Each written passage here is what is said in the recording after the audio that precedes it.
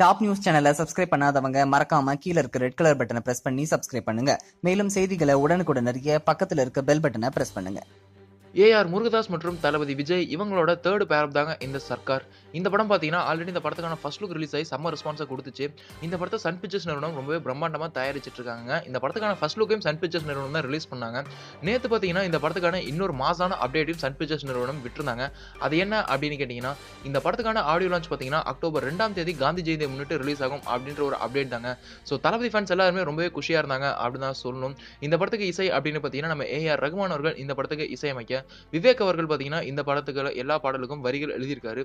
So அந்த படத்துக்கான audio லான்ச்சா October ரெண்டாம் தேதி பார்க்க வெயிட்டிங்ல இருந்த ஆடியன்ஸுக்கு இன்னும் பூஸ்டப் பண்ற மாதிரி ஒரு மாசான அப்டேட்டை சன் பிக்சர்ஸ் நிறுவனம் ரிலீஸ் பண்ணியிருக்காங்க.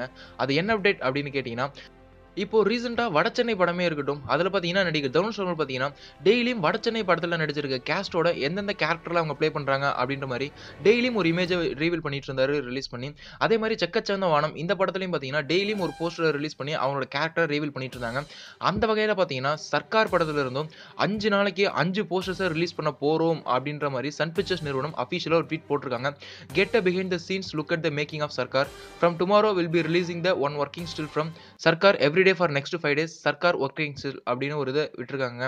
அவங்க பார்த்தீங்கன்னா கேரக்டரை ரிவீல் பண்ணாங்க. இப்போ வந்து ரெண்டு படங்கள் வடச்சென்னை மற்றும் செக்கச்சவந்த வானம் இந்த சர்க்கார் படத்தில் பார்த்தீங்கன்னா அந்த ஒர்க்கிங் ஸ்டைல் சர்க்கார் படத்துடைய ஷூட்டிங் ஸ்பாட்டில் அந்த ஒர்க்கிங் ஸ்டைலில் ரிலீஸ் பண்ணுவாங்க அப்படின்ற மாதிரி எதிர்பார்க்கலாங்க. ஸோ அஞ்சு நாளைக்கு அஞ்சு போஸ்டர்ஸை ரிலீஸ் பண்ண போகிறாங்க ஸோ தலதி ஃபேன்ஸ் எல்லாருமே டெய்லியும் வெயிட் பண்ணிட்டு அஞ்சு போஸ்டர்ஸை பார்க்க வெயிட் பண்ணுங்க அப்படிதாங்க சொல்லணும். ஸோ நீங்கள் இந்த ஆடியோ லான்ச்சை கேட்க எவ்வளோ எக்ஸைட்டாக வெயிட் பண்ணுறீங்க அப்படின்றதையும் இந்த அஞ்சு ஒர்க்கிங் ஸ்டைல்ஸை பார்க்க எவ்வளோ எக்ஸைட்டாக வெயிட் பண்ணுறீங்க அப்படின்றதையும் கீழே மறக்காம கமெண்ட் பாக்ஸில் எங்களோட ஷேர் பண்ணுங்கள் மேலும் இது போன்ற சினிமா செய்திகளுக்கு எங்கள் சேனலை மறக்காம சப்ஸ்கிரைப் பண்ணுங்க. இந்த தகவல் உங்களுக்கு பிடிச்சிருந்தா லைக் பண்ணுங்க கமெண்ட் பண்ணுங்க.